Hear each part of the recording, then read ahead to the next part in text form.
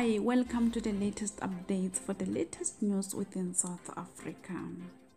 Good morning and happy Wednesday. Our latest will be about former President Jacob Zuma. Today he is appearing in the Pietermaritzburg High Court. However, he surprised many when he pulled up with Dali Mpofu. Let's follow up on that.